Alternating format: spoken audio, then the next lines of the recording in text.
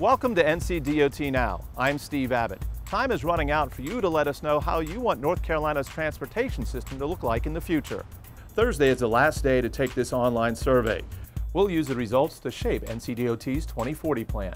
Since transportation projects take decades to design and build, we look 25 to 30 years down the road to identify our needs. We want you to tell us where we should focus our resources, and we'll use your thoughts to help plan and invest for the future. To take the survey, go to ncdot.gov, click on Transportation Reform, and click on the survey link in the upper right-hand corner. If your 4th of July plans include alcohol, please have a designated driver because the Booze It and Lose It campaign is underway.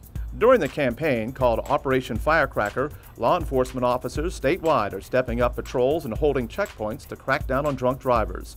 Last year, more than 1,200 drivers were charged with DWI. Don't be a statistic. Before you start drinking, give a sober friend or family member your car keys and make sure a designated driver or cab can take you home. Operation Firecracker runs through July 4th. Looking to get away this summer?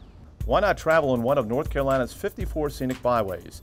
These unique roads showcase our state's history, geography, and culture. One well-known byway is the Roanoke Voyages Corridor. It follows US 64 for nine miles across Roanoke Island on the Outer Banks. Visitors can go to historic sites on the island and visit the North Carolina Aquarium.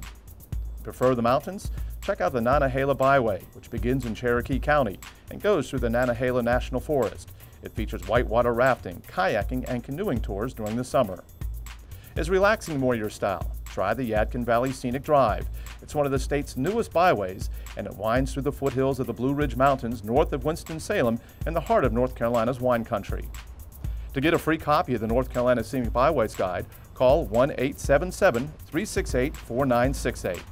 For information on these stories and much more, visit ncdot.gov. That's all for this edition of NCDOT Now. We'll see you next time.